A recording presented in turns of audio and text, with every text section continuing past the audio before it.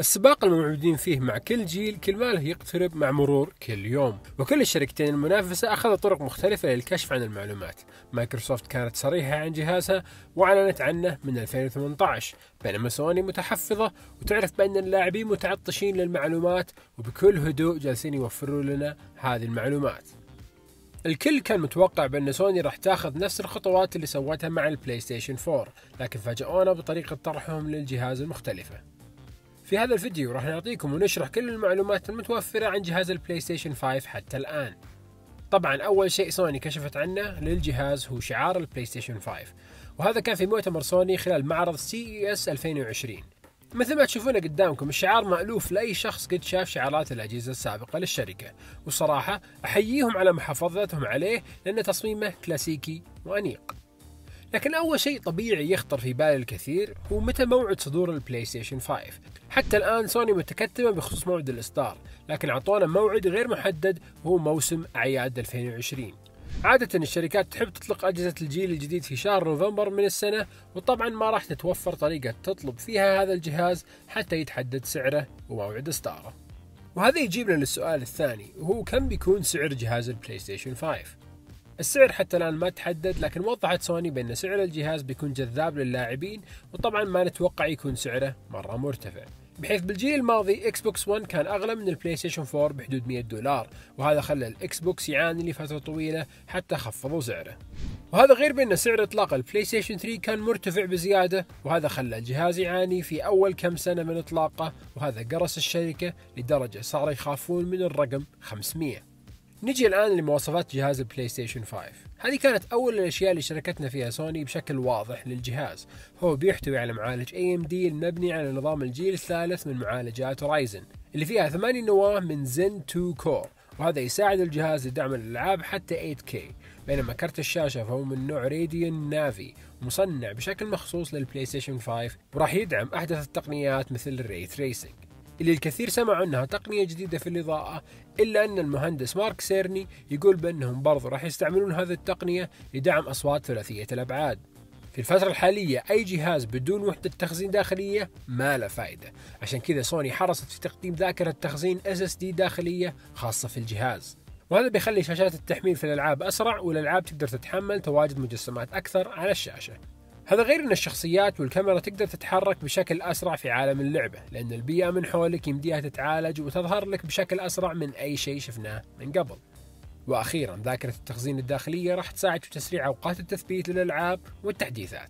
طبعا نقدر نوسع مساحة التخزين عن طريق شراء ذاكرة تخزين NVMe SSD لكنها ما راح تعمل بنفس كفاءة الذاكرة الداخلية. وسوني قالت بأن لما يصدر الجهاز راح يشاركونا بقائمة الذواكر الخارجية الأنسب للجهاز.